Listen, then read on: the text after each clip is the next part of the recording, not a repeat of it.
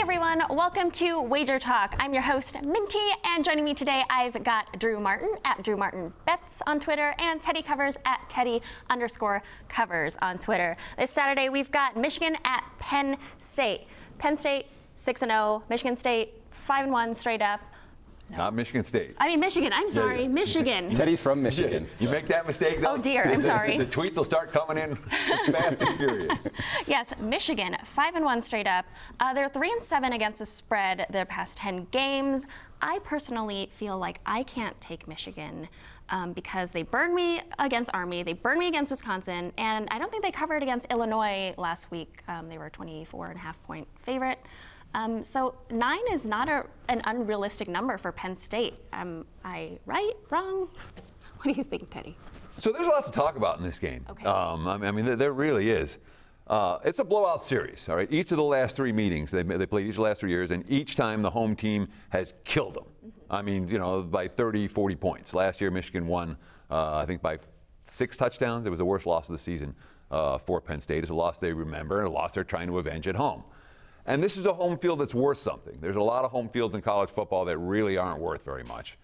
Uh, Happy Valley on a Saturday night with a whiteout and Michigan in town, that's worth as much as any, literally, as any college football on the uh, home field in the country.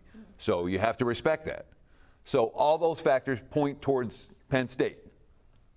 But we've seen this Penn State offense play two good defenses this season.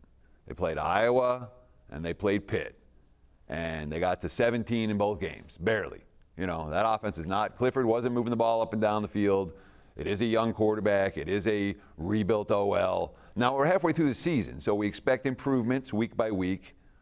But Penn State's offense is a little bit dicey to be laying nine points with against a really good Michigan defense. Now, the question is is Michigan's defense elite? In particular, are they elite on the road? Because we've seen them play really well in Ann Arbor, with the exception of the Army game. And Army, just, you know, they weren't focused on the Army at all, and it showed. But in, in Ann Arbor, this defense has been stuffing teams. At Wisconsin, they got gashed.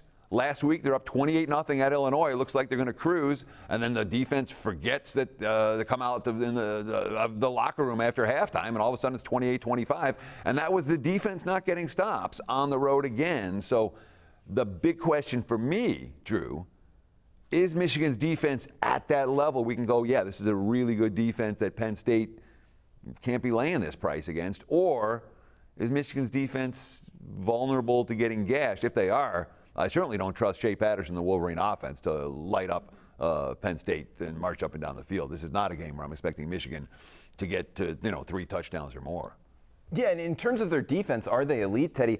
I, I, I, wouldn't use the word elite at all, especially going on a road, tough environment here with the whiteout. And I do agree with Teddy Minty in terms of uh, the whiteout at Penn State, Happy Valley. It's one of, if not the strongest home field advantages at night in the country. So, um, in terms of the quarterback play as well, Shea Patterson, I'm not a big fan of him. I think he's overrated. Um, a lot of people, you know, put a lot of, uh, I guess you could say, you know, negative attention on Harbaugh. But I think, you know, you have a, a, a veteran quarterback, and we saw what happened with him at Ole Miss in terms of when he went out of the offense, the backup came in, and actually the analytics showed uh, the offense was better at Ole Miss. Now we've seen him here at Michigan not perform very well. You you said it's a bunch in terms of Michigan. It's burned you. They burned a lot of people out there. I tend to stay away from those type of profiles and betting on teams. And I like Penn State at home here. Sidewise, I'd lay the nine. Beautiful. Anything else to add, Teddy? At plus 10, I'm probably a buyer on the Wolverines. So uh, not, not nine. Nine's not my buy price, right. but if, if the market moves to 10, uh, I'll be interested. Noted. Thank you guys. Wager Talk Text Club 100% free. Just text Wager Talk to 33222 to get a $10 coupon for signing up, plus free picks and other special offers.